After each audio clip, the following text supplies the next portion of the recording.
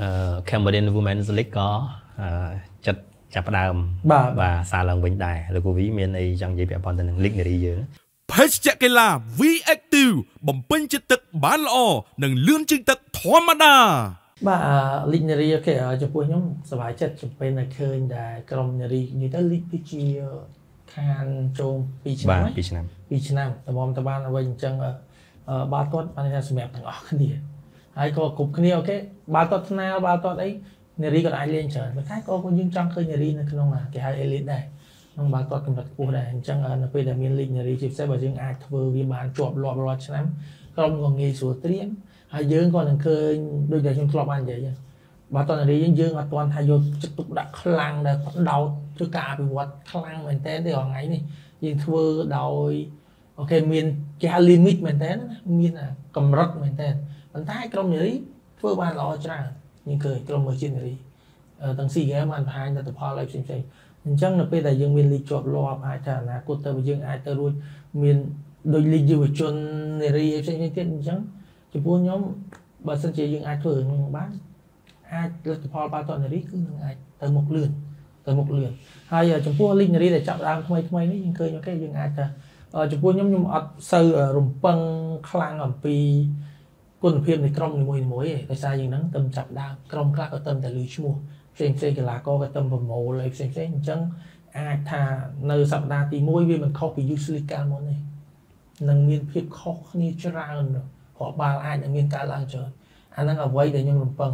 ប៉ុន្តែពេលដែលពីប្រហែលសប្តាហ៍ទៅមួយសប្តាហ៍បើសិនជាក្រុមមានការវឹកហាត់ត្រឹមត្រូវមានគ្រូត្រឹមត្រូវព្រោះដោយសារឆ្នាំនេះ license ក៏យើងរៀងកម្រិតដែរគ្រូត្រូវមាន license B បើអត់មានត្រូវការចូលរួមរៀន ដើម្បីរៀនជាប់ទុកពេលឲ្យ2ឆ្នាំបើជាប់អាចនៅទៀតបើអត់ជាប់ទេយើងត្រូវការស្នើសុំក្រុមដូរហើយដើម្បីយើងចង់បានគ្រូដែលត្រឹមត្រូវដើម្បីអភិវឌ្ឍទស្សនវិជ្ជាកីឡាករដើម្បីធម្មតាកីឡាករគ្រូល្អ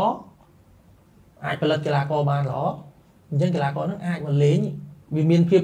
វាវាគង់តែមាន potential ម្នាក់មានសក្តានុពលជាងប៉ុន្តែនៅពេលដែលក្នុងការវឹកហាត់ត្រឹមត្រូវយើងអាចប្រកួតប្រជែងគ្នាបានហើយទោះតែចាញ់ក៏មិនលទ្ធផលច្រើនដែរ ហើយជាមួយនឹងការកែប្រែចំពោះគ្រូដែលបានរៀនបានអីត្រឹមត្រូវបើសិនជាយើងដូចជាឆ្នាំមុនមុនយើងនៅយុគយល់ច្រើនគ្រូខ្លះអត់ license ក៏យើងឲ្យកាន់អីផ្សេងផ្សេងអញ្ចឹងបើយើងនៅបន្តអញ្ចឹងទៀតចុងក្រោយប៉ះពាល់គឺគុណភាពកីឡាករទេដោយសារទាំងអស់គ្នាត្រូវការឆ្លងកាត់វគ្គដើម្បីឲ្យងាយស្រួលក្នុងការទៅប្រហាត់ផងហើយយល់ដឹងពីអ្វី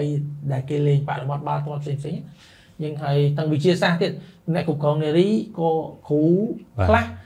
ធ្វើតាមរបៀបនារីអត់អាចមិនគ្រូត្រូវគ្រូត្រូវតែគិតតែគាត់ជានារីមិនមែនជាមនុស្សប្រុសទេអញ្ចឹងចំពោះខ្ញុំបើសិនជាយើងបន្ទាប់ពីយើងកែប្រែកម្រិត license គ្រូជាមួយនឹងការប្រកួតបើយើងជាប់លាប់អញ្ចឹងយើងនឹងឃើញការអភិវឌ្ឍរបស់ក្រុមមួយមួយ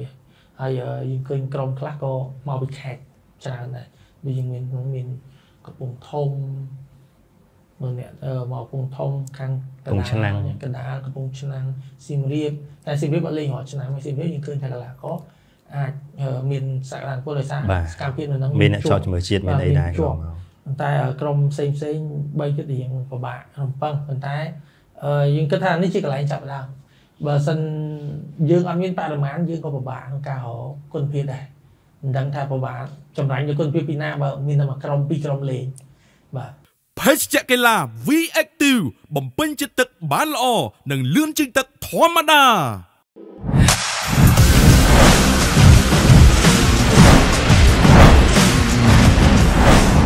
AMS Sport ដើម្បីកីឡា